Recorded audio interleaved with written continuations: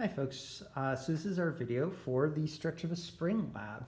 You can see I have a spring is uh, at its natural length, right? There's nothing that's causing it to stretch.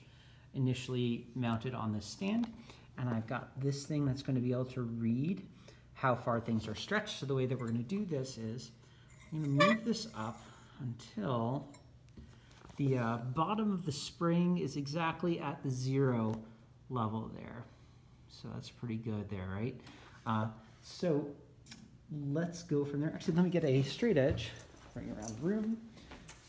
Go, so that we can maybe see that a little bit more clearly. Okay, that bottom. Yeah, it's pretty good.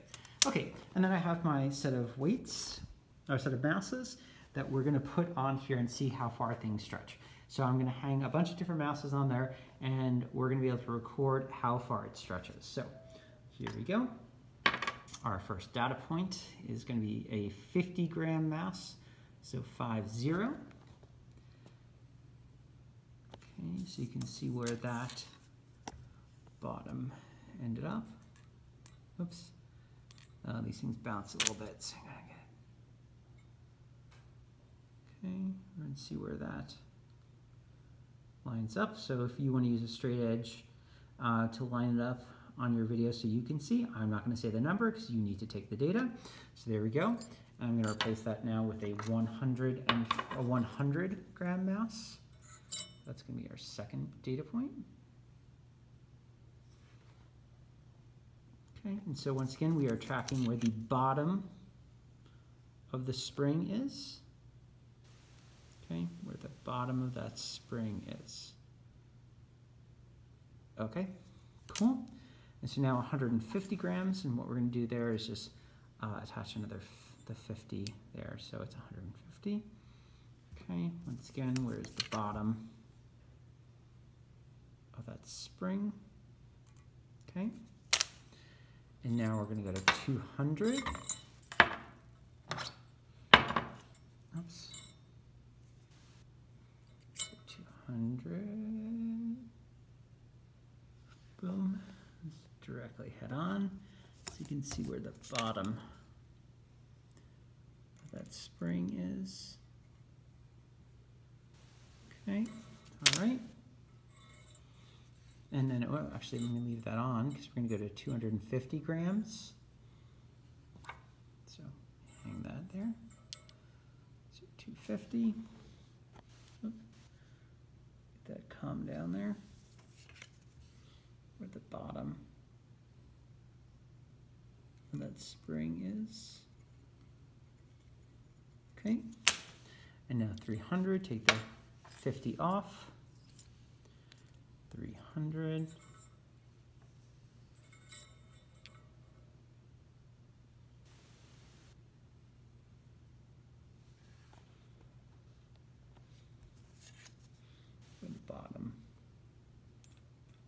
spring is.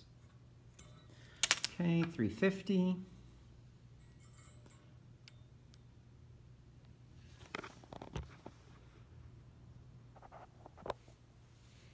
wants um, to bounce a little bit.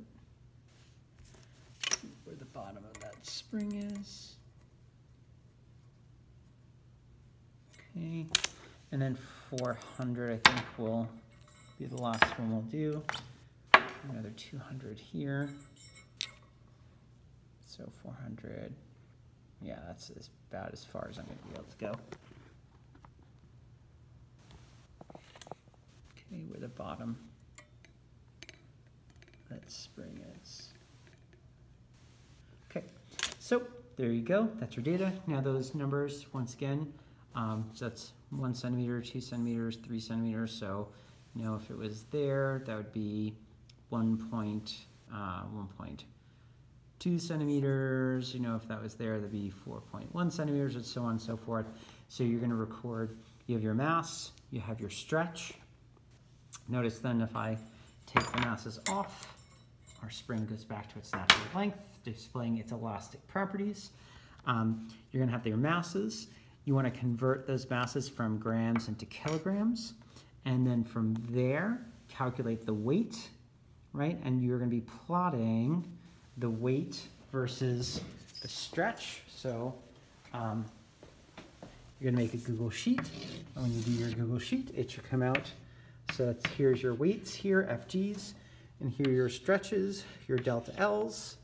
Um, actually, you can just use uh, X for delta L um, there, or if you just want to call it stretch, that's fine too.